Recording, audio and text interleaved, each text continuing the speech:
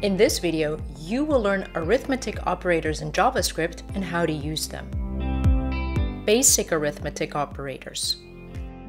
As you can see on screen, we have addition, subtraction, division, and multiplication. So very straightforward and you use these operators just as you, you would use them with numbers. Since this is very basic, I won't show you any examples because the examples are for the bit more advanced arithmetic operators. Advanced arithmetic operators. Let's start this advanced section with the remainder operator. And I'm going to demonstrate all of these operators in the browser. So just head into your browser. In my case, I'm using Chrome, right clicked, click, there you go, inspect, console, here we can write JavaScript. So let's try this out. 8 remainder 2, enter, gives me back 0. So the remainder operator is the percentage operator. Okay, I have to uh, click on enter, there you go. Um, how about something like this? 13 remainder 2 gives me back 1. So what remainder does is the following. It takes whatever number is in front of the operator. So in the first case it was 8, in the second case it was 13. And then it looks how often can I put number or put 2, so at the end of the operator, into that um, number and what is the remainder value. So obviously 2 fits 4 times into 8 and then what What's the remainder? Zero, because it's an even number. Hmm? I already gave it away. You can use remainder to check if a number is even. And so with 13, 1 is a remainder because it's not an even number. So in a code, what you could do is something like this. Let's say we have a constant of number and we're gonna assign the value of 4 to it. And then we're going to have an if conditional. We say if number remainder 2 strictly equals 0, and then we have to open up our curly bracket, console.log. We're going to say number is even. So we're just logging this string out to the console like so. There you go. And it does log out our string numbers even because it's checking is whatever is stored in the value of number. When I apply remainder 2 to it, will it give me back 0? Yes, it will. So this is in JavaScript, in my opinion, the way to check if whatever number you have is even or odd. Next up is unary negation, and what it does is it takes positive numbers and turns it into negative, but the other way around, it does the exact same thing. I'm going to show you both. So let's start out with our constant score, and this contains the value of 5. There you go. And now we're going to say const new score equals minus score. So this minus that is the arithmetic operator. That is our unary negation. It has to be written before our variable or just before our value. If we click on enter and now we check what's in new score, minus five. Okay, I said the opposite is true too. If you have a negative number, it will turn it into a positive number. So let's say in this case, uh, I don't know, uh, score two, let's call it like so. And it's gonna be minus eight. And now we're going to say const new score two, and again, minus, and now score two. And if we check what's the content of our new score two, it will be now a positive eight.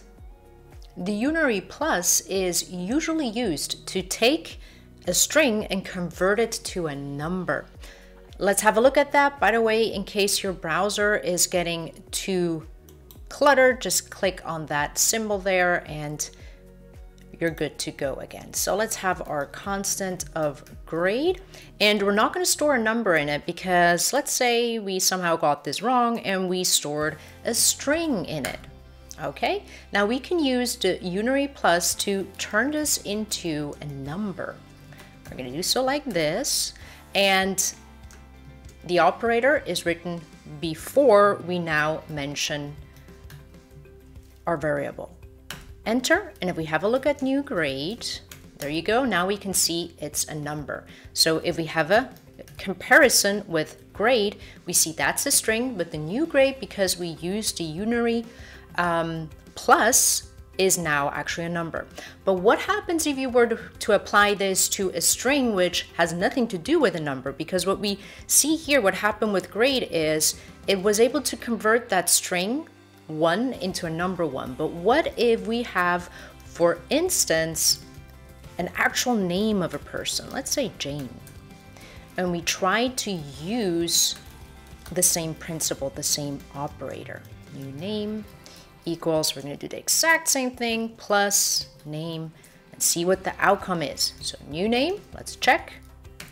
NAN, not a number. Okay, so it tried to convert convert the string Jane into a number, but obviously that is not possible. So it gives us back not a number. But you do see that if you, in your script, in your flow somewhere, maybe the user input, uh, you're not sure, is it a number or is it a number but as a string, then you can use the unary plus to force it to become a number. Increment is an assignment and an addition operator all in one. Now, it depends on where you used your, this operator, either before or after the value or the variable. Sounds a bit complicated. How about I write this out, fast forward it, and then we can have a look at it together. So, the post increment, which we're using here for our constant update, we're saying whatever is stored in the variable of numero plus plus, so that is post increment. Now, if we look what happens, numero was incremented by one, so contains the value of four, but update contains the value of three because it gives us back the return value of numero before the increment was made. And the difference with the pre-increment, which we see here, plus plus ABC, which is then stored in XYZ, is that if we have a look, our ABC, which originally contained 3, again was incremented by 1, but this time XYZ, the return value, is what happened after the increment. So it gives us back the value of 4 versus 3 in update. So you see the difference? So decrement I already went ahead and wrote it out for us. Again, we have our post and our pre. So if we use the post decrement like so, ABC, if we check, ABC contained the value of 4. If we use the post decrement on it, ABC will contain 3, so just subtract it 1. And the sub, so this is the const sub, will be 4 because it's giving us back the return value of before the decrement was executed. Now with the pre-decrement, so written minus minus and then the variable or the value, we see that ABC now contains 2, so it did subtract 1 because if you remember, ABC contained 3 before. And now the sub before is going to be 2 because it gives us back the return value after the subtraction was made. Leave us a like if you've learned something new in this video and please subscribe to this YouTube channel so that you don't miss out on any of our upcoming JavaScript and technology videos. And I do have a question for you.